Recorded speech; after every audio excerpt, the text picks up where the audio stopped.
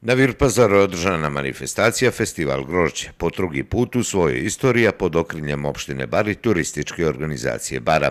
Ova fešta od nektara koji je karakterističan za ovaj kraj okupila je pristojan broj posjetilaca. Zadovoljan je bio i predsjednik opštine Dušan Rajičević. Prije svega moramo da budemo svjesni činjenice da je ovo samo jedna u nizu manifestacija koje je turistička organizacija u saradnji sa opštinom Bar organizovala tokom turističke sezone mi govorimo o produženju turističke sezone upravo ovdje u Crmici i e, sama organizacija današnje manifestacije je doprinos produženju. Raduje me prije svega činjenica e, i informacije koje sam danas dobio od turističkih poslenika da su njihovi e, kapaciteti popunjeni skoro i do kraja oktobra mjeseca, tako da svi zajedno možemo biti više nego zadovoljni sa turističkom sezonom, odnosno sa efektima turističke sezone, jer govorimo o šest mjeseci trajanja same sezone.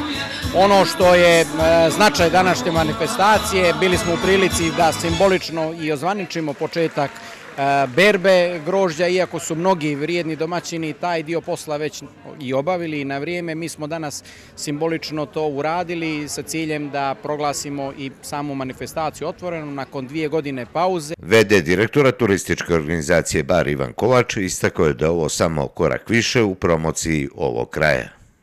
Posle dvije godine pauze opet organizujemo festival grožđa. Danas smo imali priliku da i naš predsjednik opštine ovaj, prvi ubere prvi groz ili tako zvanično ovaj, otvori e, branje, e, ovu berbu branja grožđa. Mi iz turističke organizacije se inače trudimo zadnjih deseta godina da afirmišemo ovaj kraj i da predstavimo u najboljem mogućem ovaj, ruku sve ono što posjeduje Crnica, dakle i Virpazar, a to je i našu obalu, dakle svako ko dođe na Virpazar ima priliku ne samo da proba predivno vino, da proba domaće proizvode.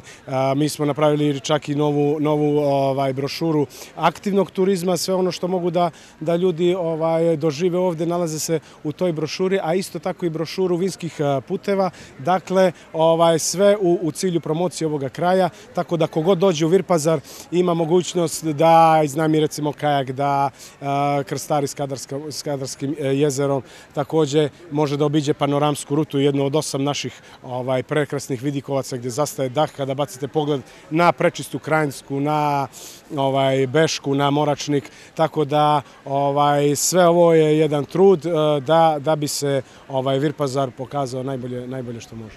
Gosti su uživali u muzičkom programu i degustaciji vina.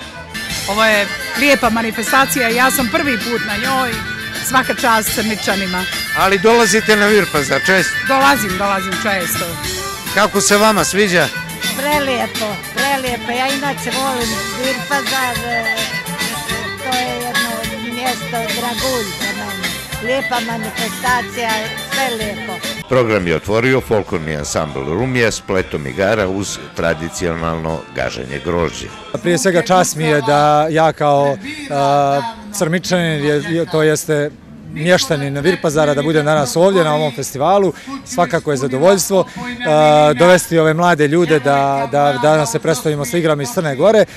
Da, u proteklih dva mjeseca su bili festivali folklora u Bari u Sutomoru, bilo je ukupno 12 koncerata na koje smo se predstavili mi kao prva postava i mlađa djeca, mlađi dio ansambla. Naravno, predstavili smo se igrama iz Crne Gore. Također bilo je tu dosta koncerata u Ostrosu, Ulcinju, Podgorici, e, Budvi, sad smo u Ulcinju imali prekjuče koncert, tako da koncerata ne hvali, ali ovaj, baš onako pravo zadovoljstvo bilo da nastupamo u Baru zapravo u našoj opštini sa tih 12 koncerata. I evo sad ugovaram turneju da za nekih mjesec dana putujemo za e, Petrovac na Mlavi da obiđemo, tamo je festival folklora, tako da već se pripremamo za tu turneju. Čas da održi zdravicu pripala je Rajku Joličiću, poznatom pjesniku, piscu i humanisti. Tuga svije tiho ko srca moga, ja nalijem bocun jedan dobrog vina crmičkoga. Ovo je bajka, bajkovito mjesto, ono što vjekovima istraživači i pjesnici traže ostatke i take od Isejevog zavičaja, izgubljenog raja. To je upravo ovaj prostor i zato treba Zato ovdje treba češće dolaziti i sve što se ovdje organizuje je uspješno i sigurno sigurno je potrebno da ljudi, da cijel svijet upozna ljepote i značaj ovoga kraja, jer svaki kutak, svaki kamen, svako drvo, sve ima svoju tajnu ovdje. Mladi barski kantautor Nemanja Bogićević više od sat vremena imao je svoj nastup koji je prihvaćen kod publike.